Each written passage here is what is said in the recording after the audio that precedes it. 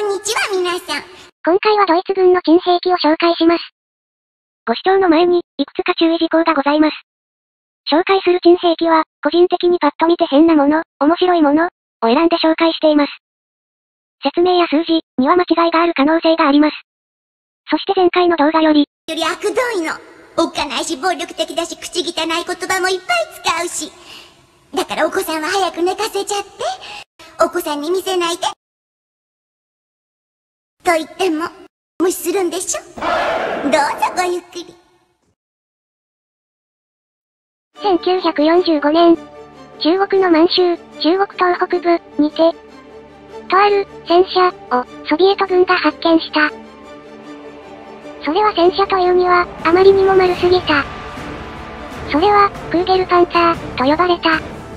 ドイツで開発されたらしい車両。使用方法、攻撃方法は、ほとんど謎。保存状態のいい車両が1両だけロシアの、クビンカ戦車博物館に収蔵されているが、詳細は不明。ドイツ製であり、日本に輸出された。らしい。形状から判断して、一人用らしい。この謎の戦車が動いている映像があればいいけど、残念ながらありませんでし、ありました。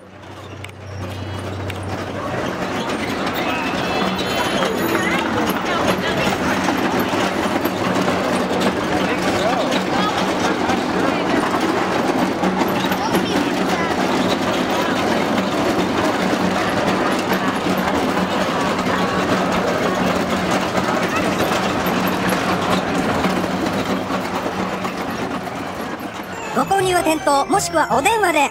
おい、嘘つくな。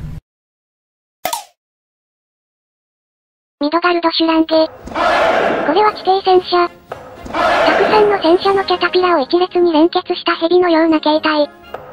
陸上、水中、地中も航行可能。さらに戦闘に装備されたドリルで地中を掘り進み、要塞や軍港の地下に爆薬を設置し、破壊するのだだが、なんやかんやで1935年2月に研究は中止された。P1500、モンスター。それは戦車というには、あまりにも大きすぎた。大きく、分厚く、重く、そして大雑把すぎる。ドイツで計画された、超、超、超、重戦車。重量約1500トン、全長42メートル、全幅18メートル、高さ7メートル、驚異の数字、マンション11、13階を横にしたような感じ。砲弾は合計 800mm、立てるとその辺の戦車より大きい。だが、この戦車にも欠点があった。1、道路を破壊しちゃう。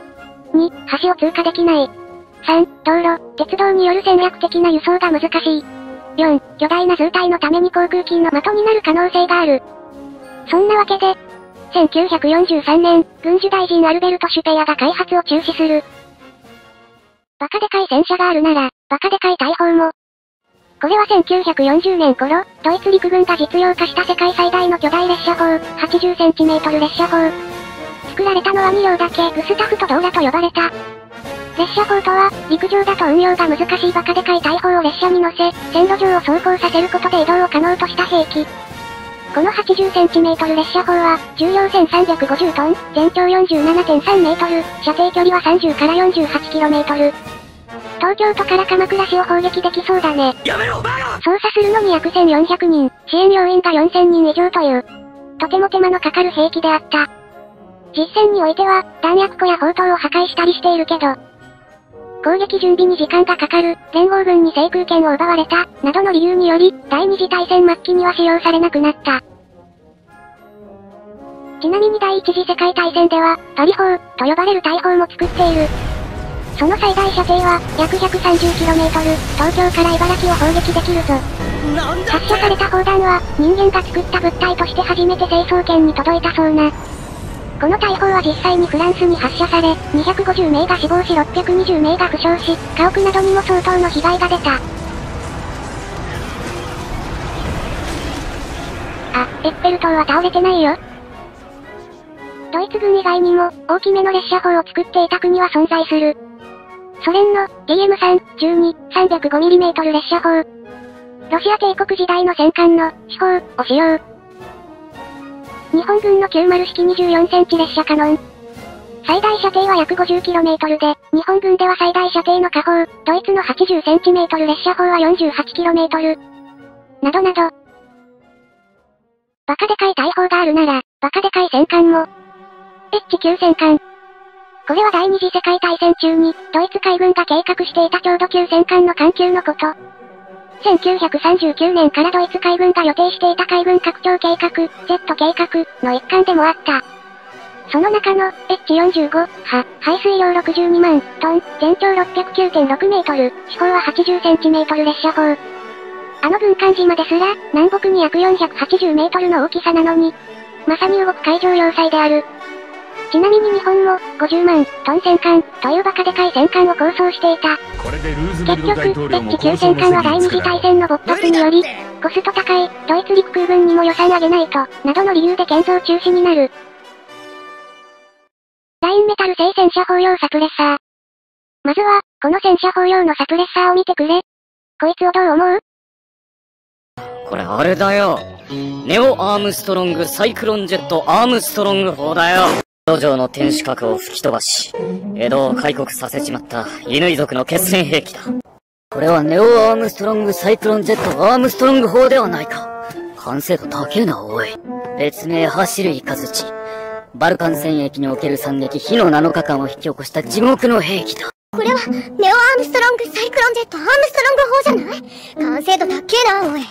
惑星セザーンとキャシャーンの星間戦争において、セザーン側を勝利に導いたメソッド砲とは裏腹に、ずっと倉庫に入れられっぱなしだった悲しき兵器。三人とも、大間違い。なんだってドイツの、ラインメタル、が作った戦車砲用のサプレッサー。兵器研究施設などで戦車を使う際、周囲への騒音を減らすために作られたもの。ただ、海外のネットでは、これ画像じゃね？という声も出ている。しかし、日本以外のいろんな海外サイトでも紹介されているし、ドイツ人が実際に見たって言ってるコメントを見た、と言っているコメントも見たので、このサプレッサーは実在する、はず。最後は、ユニークな形をしたナチスの飛行機を紹介しちゃうぞ。ザック、エース6。ドイツの農民でアマチュアエンジニアのアルプール、ザックが製作した円盤のような飛行機。飛行機コンテストにこれの模型を出場させたら、空軍大臣エルンストーデッドの目に留まり、嫌だ丸くて可愛い、ってな感じで本格的な制作が始まる。結果としては安定した飛行を実現できなかったそうな。ホルテン、HO229。まるで後の、ステルス戦闘機、のような形をした爆撃機。主力は木製で、塗料や接着剤には電波を吸収する、炭素粉、が混ぜられており、世界初のレーダーステルス機、とも言われている。いろんな派生方を制作していたが、ドイツが敗戦し、制作も打ち切られた。ちなみに、これの改良型、ホルテン、H18、は。搭乗員3名で、マッハ0.75で飛行し、アメリカ本土を直接爆撃可能なものだったらしい。まあ、結局これの制作も途中で中止になったけど。今から爆撃すれば間に合うって、頑張れドイツさん。ハインケル、HE111Z。大型輸送軍用グライダー、メッサーシュミット ME321 の牽引用に爆撃機、HE111 を横に2機、連結した機体。何これ連合軍兵士を、領海双子飛行機だ、と戦慄させたとか。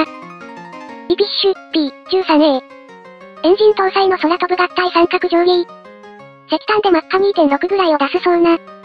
おかしな形だけど、最近の研究では、マッハ2.6を出しても安定性のある設計である、と言われている。縦に置いたら過敏にできそう。わけわかんねえ。トリープフリューゲル。ロケットに翼をつけたような戦闘機。離陸時には、翼を回転させてヘリコプターのように垂直に浮くんだそうな。しかし、本当に水平飛行するのかなぞ、着陸できるのかもなぞ、本当に離陸できるのかもなぞ、という代物であった。